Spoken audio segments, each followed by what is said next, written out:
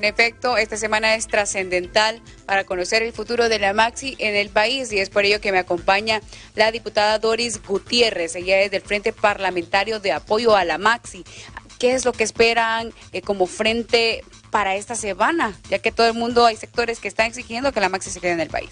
Bueno, definitivamente, licenciada, nosotros como Frente Parlamentario de Apoyo a la Maxi, nuestra expectativa es que el convenio sea ratificado, que sea ampliado por cuatro años más, que solo sea a través de un intercambio de cartas y que no haya necesidad de hacerle cambio alguno, mucho menos que vaya al Congreso Nacional, porque si va al Congreso Nacional ya hay una posición definida de 71 diputados que están en contra de que la Maxi continúe.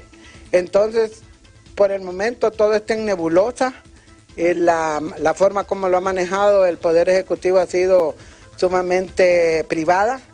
No hay conocimiento ni de nosotros como Frente Parlamentario, ni de la coalición, ni de ustedes como medios, eh, qué, qué es lo que está ocurriendo. Sin embargo, bueno, pongámonos en perspectiva positiva y esperemos que realmente los que están negociando sepan entender el pensar y el sentir de la mayoría del pueblo hondureño, que es que la MASI continúe. También la sociedad civil ha exhortado al gobierno de la República, así como también a la OEA, para continuar la lucha contra la corrupción a través de este ente. Bueno, no solo la sociedad civil, también las iglesias de diferentes denominaciones, las organizaciones sociales, las organizaciones de mujeres, el foro de mujeres de partidos políticos, también estamos pidiendo que el convenio sea ampliado.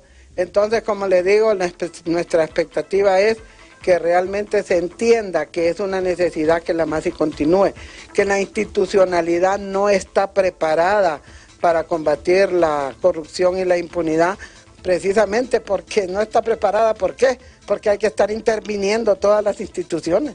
Significa de que no hay una institucionalidad fuerte que pueda cumplir con las funciones encomendadas, en este caso el Ministerio Público, el mismo Tribunal Superior de Cuentas, y nosotros lamentamos que desde el Congreso Nacional, en lugar de fortalecer los mecanismos para combatir la corrupción, de aprobar la ley de colaboración eficaz y de revisar esa ley de secretos, más bien se estén aprobando leyes para proteger a los que de una u otra manera han hecho mal uso de los fondos públicos. Muchas gracias a la diputada Doris Gutiérrez del Frente Parlamentario de Apoyo a la Maxi, pronunciándose debido a que esta semana es muy importante porque se va a conocer el futuro de la misma. En cámara de mi compañero Gerson López les informó Nirvana Velázquez.